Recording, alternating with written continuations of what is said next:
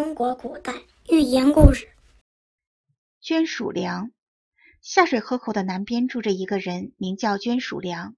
他生性愚笨胆小，总是疑神疑鬼的。有一次，他到朋友家去喝酒，因贪杯误了时间。但他看天色还不太黑，就趁着酒劲上路了。他紧紧提着一颗心，紧赶慢赶，暗暗祈祷上天保佑。心里念叨着，不由得加快了脚步，同时冒出一身冷汗。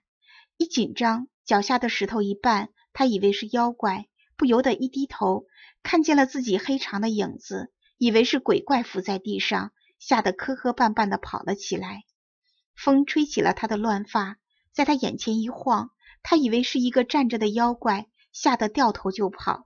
结果他快，后面的脚步声也快。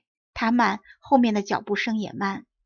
第二天，当他妻子开门时，发现他仅以门槛，双目突出，已死去多时了。疑心生暗鬼，捐鼠良愚笨胆小，最终被自己吓死了。我们要吸取这个教训，凡事切不可疑神疑鬼。